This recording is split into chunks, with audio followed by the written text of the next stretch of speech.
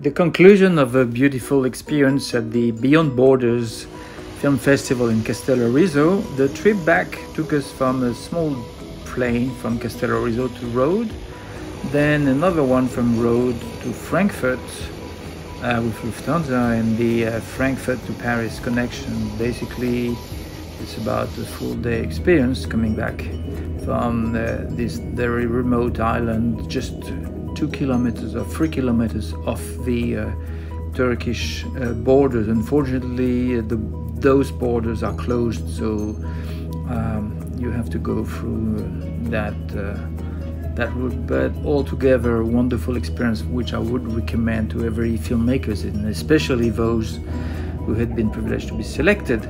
See you there in Castellorizo next year for the 2022 edition, the seventh edition.